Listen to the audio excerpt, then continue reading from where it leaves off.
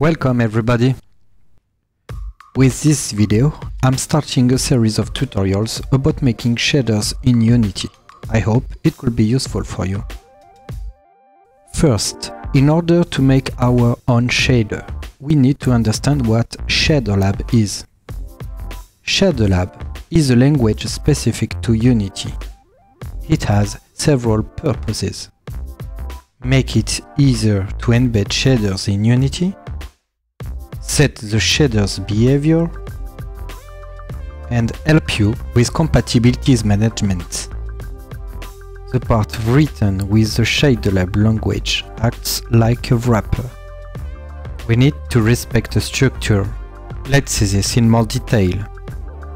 The first section is the properties one. It is optional. It is used to make some properties appear in the Unity's material inspector. Then, these values can be tuned from Unity's scene and used in the shader. Here's how to do it.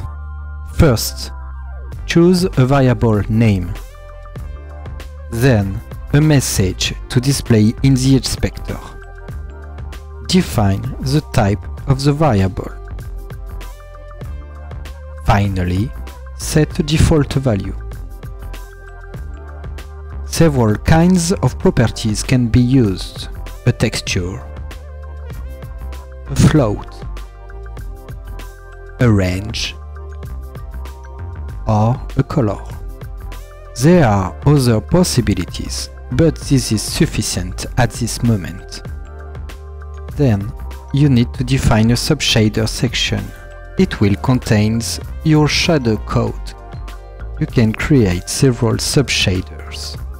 Unity will pick the first subshaders that can run on the user's graphic card. Thereby, you are able to write multiple versions of your shader to manage with compatibility issues. Inside a subshader section, you have to create one or more pass sections. The pass section makes the object render once. If you add another pass, it will be rendered twice and so on.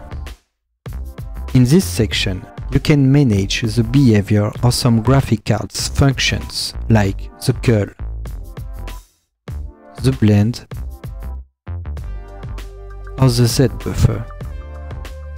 Our shader code that will be executed by the graphic card will be put between two keywords, CG program and ENDCG. Finally, we can add a fallback. If any of the subshader above can be executed by the graphic card, you can give the name of a shader to use instead. In this case, I will use the shader called diffuse. Here we have the shell of our shader. I put some useful links in description about ShaderLab if you want to go further details. Feel free to share, reuse, modify or distribute this video without any credits. Next time, we will write our first vertex shader. Thanks for watching, see you next time.